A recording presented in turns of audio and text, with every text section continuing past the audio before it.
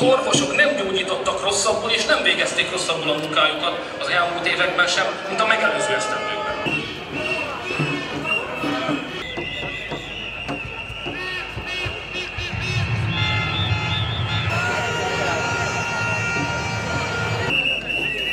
A költségvetés a világ egyik legizgalmasabb dolga tud lenni, ha tudunk benne olvasni.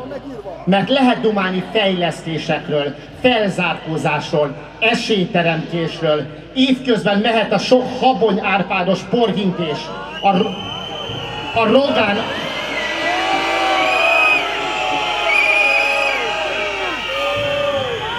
nem nagyon szeretjük őt. A Rogán Antal féle hazugság és a Varga Mihály szerű ígérgetés.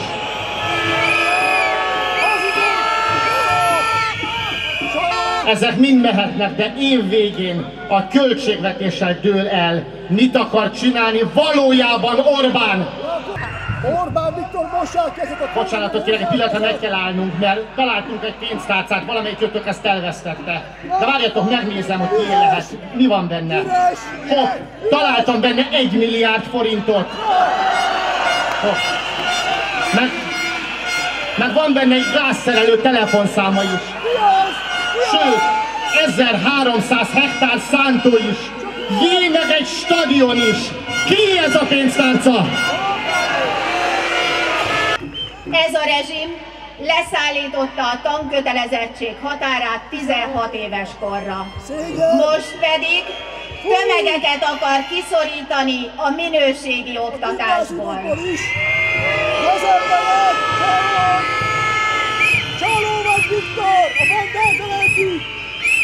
Viktor! Csaló vagy! Kiváltság lesz gimnáziumba járni. Egy maroknyi szerencsés kerülhet csak a Hülye felsőoktatásba. protekciós! Két maroknyi kevésbé szerencsés, egyszer használatos szakmunkás lehet. Aki viszont egyáltalán nem szerencsés, az a nyolcadik osztály elvégzése nélkül a híd program után mehet egyenesen a híd alá. Ez az oktatáspolitika tovább csökkenti a szegények felemelkedési esélyeit, és megpróbálja szembeállítani egymással az egyes társadalmi csoportokat.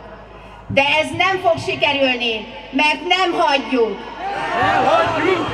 Mi a szakszervezetben azokat próbáljuk megmenteni, akik becsülettel ledolgozott évek után ma szó szerint életveszélybe kerültek a munkahelyeken.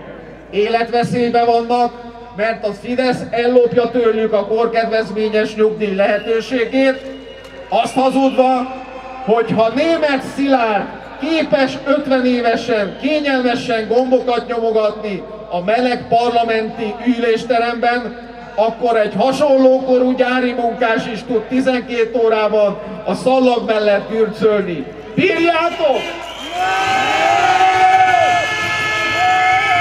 Számoljunk! Egy közmunkásnak 120 évi teljes fizetése sem lenne elég, hogy olyan budai luxuslakást vegyen, mint Lázár János a 10 éves fiának. Mocskos olaj!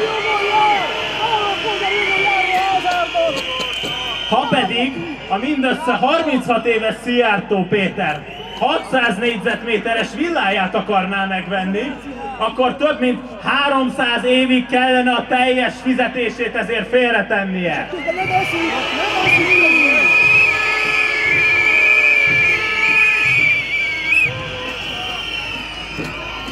Közben a Fidesz az oktatást is tönkreteszi, pedig ez a szegénységből kivezető egyetlen út.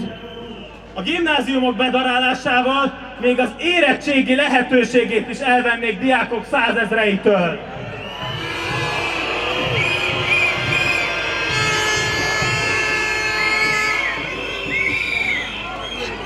A tanárokat is becsapták, az évek óta ígért életpálya modellt is újra elhalasztották, mert ezek mindenkit átvernek. A során is meg! A Fidesz azt hazudja, hogy hallgat az emberekre. Valójában rá se bagóznak a népre, csak lopják a dohányát.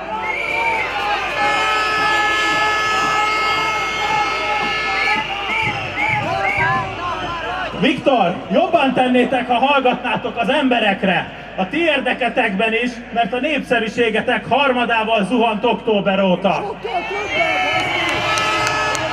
Holnapi napon, hétfőn, ahol csak lehet, félpályás útlezárásokat, forgalomlassító demonstrációkat kell tartani.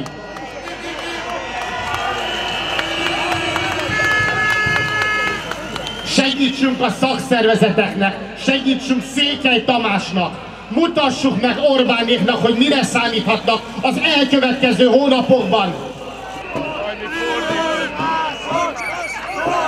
Hadd készítsen a sajtófotókat, hogy eljusson Orbán Viktorhoz, mert sajnos az internetet nem igazán tudja használni.